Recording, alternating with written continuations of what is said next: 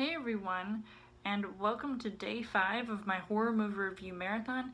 And I've got The Strangers Prey at Night movie review.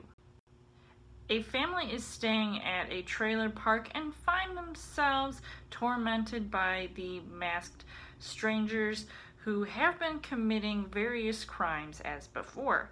Will this be a worthy sequel? So, as far as the story goes, if you guys had seen last year's horror review marathon, I had previously reviewed The Strangers and I had seen it countless times before. I still feel like to this day I am haunted by that film.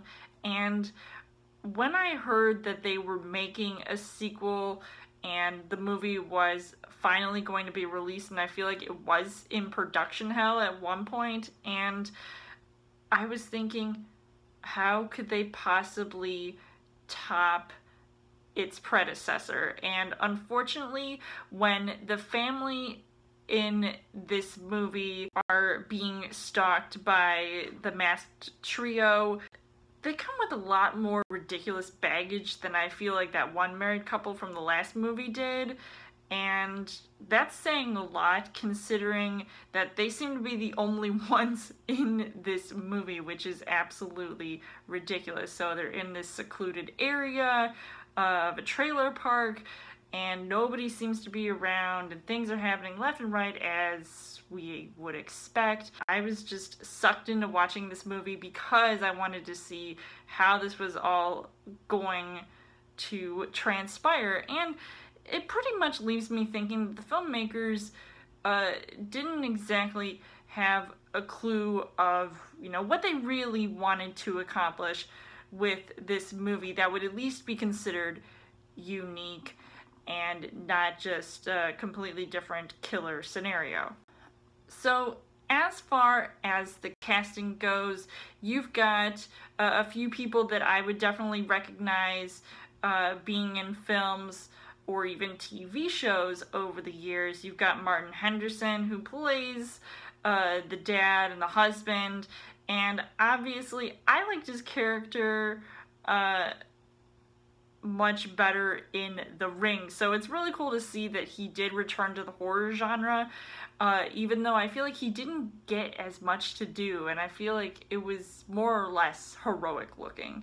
Uh, you've got Christina Hendricks, who plays his wife and the mother to their kids, and I would say that maybe the horror genre was not one of her strong suits. I really didn't find her character to be very believable and it just felt very forced, especially with her reactions. Unlike Liv Tyler, who I definitely praise to have a, at least a legitimate, genuine reaction to the horror going on around her.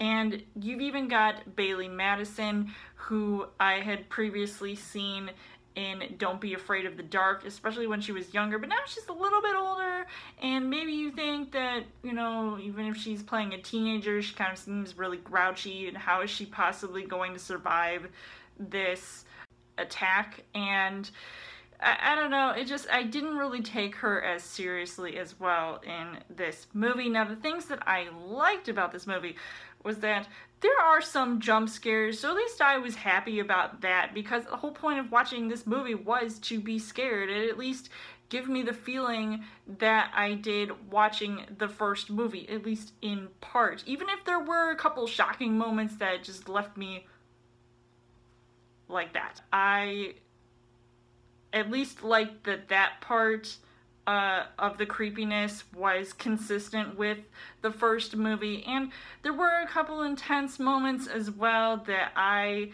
probably had my jaw dropped at one point. I really don't remember. Maybe that's a bad thing about this movie is that I don't even remember how I reacted because most of the time I wasn't really reacting. Now, unfortunately, the things that I didn't really like about this movie was that it was slow moving in the beginning. I did get bored watching this a few times, probably because I was so used to figuring out, like, okay, what's going to happen now.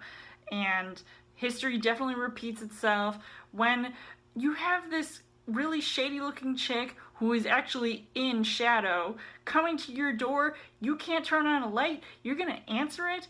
And I'm just thinking, is this gonna be one of those like dating in the dark scenarios? But then uh, the waiter is the only one that has the night vision goggles? That clearly did not happen in this movie. The protagonist just had a whole bunch of idiotic behavior that really didn't change. And I was just like, oh my god, what are you gonna do with these three antagonists? I mean, it was just insane to watch. So overall, I would say that this movie, uh, I didn't have a lot of high expectations seeing it because I still feel like the first movie was much scarier than this at least. So I would definitely recommend seeing that over seeing this. And this could definitely be a skip altogether unless you really don't care. So I would give this two and a half hearts on the heart rate scale. So let me know in the comments what you guys thought of The Strangers Prey at Night. And come back tomorrow for day six of my horror movie review marathon. And as always, you guys can subscribe to my channel. I've got more movie reviews, movie updates coming every week for a Trail Thursday video. You guys can also like me on Facebook and follow me on Twitter. And I will see you guys later.